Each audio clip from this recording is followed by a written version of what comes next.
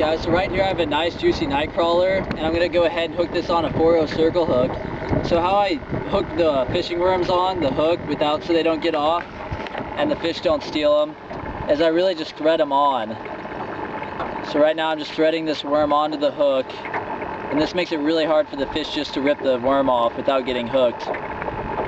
Fish just jumped in the background but uh, now what I do is once I get it threaded on pretty far, the last thing I do is I make sure the hook's exposed right here, the barb.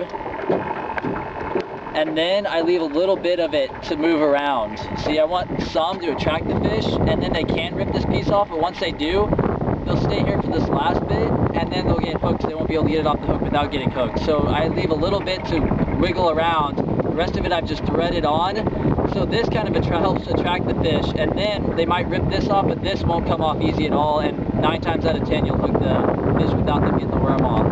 Thanks for watching.